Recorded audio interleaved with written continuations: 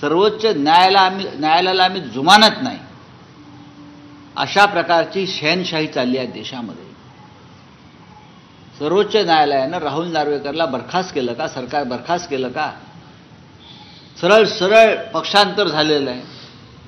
सरळ सरळ घटनेच्या पाठीत खंजीर खुपसल्या संविधान पायदळी तुडवलं दहावं शेड्यूल पायदळी तुडवलं आहे आणि सर्वोच्च न्यायालय फक्त झापत राहत आहे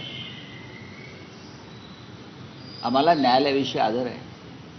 पण या झापण्याच्या पलीकडली पावलं टाका आता.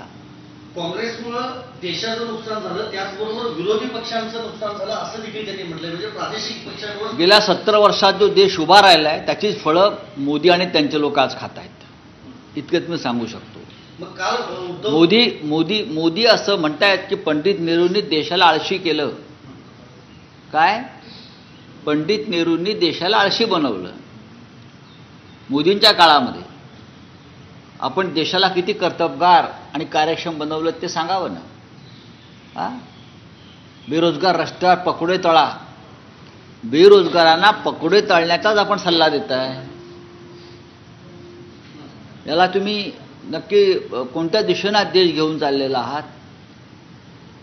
ऐंशी कोटी जनतेला गरिबांना आपण पाच किलो धान्य फुकट देत आहे हे का कार्यक्षम बनवण्याचं लक्षण आहे का? ऐंशी कोटी जनतेला आपण माणसी पाच किलो अन्न फुकट देणं ही तुम्ही गुलाम गुलाम गुलाम बनवण्याचा कारखाना या सरकारने निर्माण केला आहे लोकांना रोजगार हवा आहे आणि तुम्ही रामलल्लाच्या दर्शनाला फुकटात नेताय.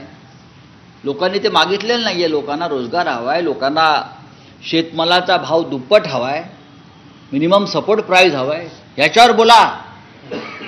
ह्याच्यावर बोलताय का? या देशातला दहशतवाद गुंडगिरीवर बोला. या देशात तुमच्या लोकांनी निर्माण केलेल्या भ्रष्ट राज्यव्यवस्थेवर बोला. या देशामधल्या लोकशाही संस्था संविधानिक संस्था ज्या पद्धतीने तुम्ही खतम करताय त्याच्यावर बोला. जर नेहरूंवरती हा आरोप होत असेल तर मोदींनी देशाला गुलाम केलेला आहे. ऐंशी कोटी जनतेला पाच किलो फुकट धान्य देणं ही लाच आहे. लोकांना अधिक आशी बनवण्याचा हा प्रयोग आहे. तुम्ही फुकट खात राहा तुम्ही आयतोबा म्हणून जगत राहा. बरं का आम्ही तुम्हाला फुकट देऊ आणि आम्हाला मत द्या. हे नेहरूंपेक्षा भयंकर आहे.